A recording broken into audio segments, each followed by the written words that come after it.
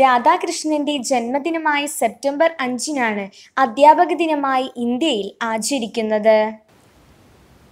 ആയിരത്തി എണ്ണൂറ്റി എൺപത്തി എട്ട് സെപ്റ്റംബർ അഞ്ചിനാണ് അദ്ദേഹം ജനിച്ചത്. പണ്ഡിതനും തത്വജ്ഞാനിയും ഭാരതരത്ന ജേതാവുമായ അദ്ദേഹം ഇന്ത്യയുടെ ആദ്യ വൈസ് പ്രസിഡന്റും സ്വതന്ത്ര ഇന്ത്യയുടെ രണ്ടാമത്തെ പ്രസിഡന്റുമായിരുന്നു. നമുക്ക് അധ്യാപക ദിനവുമായി ബന്ധപ്പെട്ട ഒരു ചെറിയ ചരിത്രം കേൾക്കാം. തെലുങ്ക് ബ്രാഹ്മണ കുടുംബത്തിലാണ് അദ്ദേഹം ജനിച്ചത്.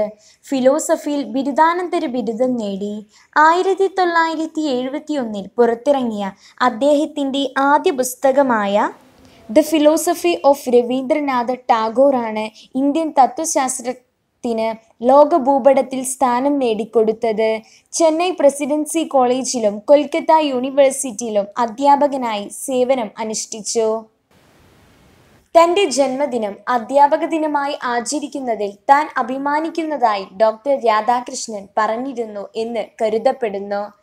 ആയിരത്തി തൊള്ളായിരത്തി അറുപത്തിരണ്ടിൽ ഇന്ത്യയുടെ രണ്ടാമത്തെ പ്രസിഡന്റായി തിരഞ്ഞെടുക്കപ്പെട്ടതു മുതലാണ് അദ്ദേഹത്തിന്റെ ജന്മദിനം ആഘോഷിക്കാൻ രാജ്യം തുടങ്ങുന്നത്.